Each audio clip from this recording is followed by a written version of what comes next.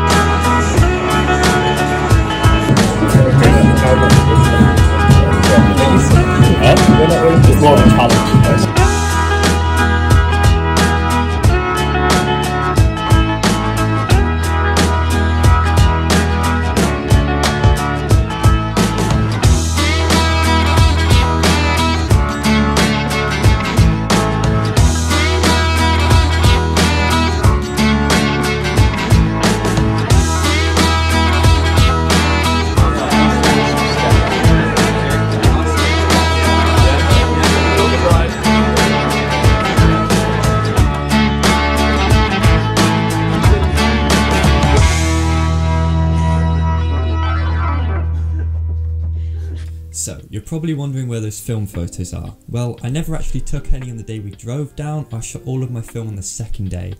The film I shot was Portra 800, they didn't have a 400 in the shop unfortunately, so I got 800. I shot on a Canon A1 program, this here, and all I had with me was a 50mm lens. I did take some digital photos, but mostly I stuck to film. But anyway, yeah, enjoy the next part of the video, day two.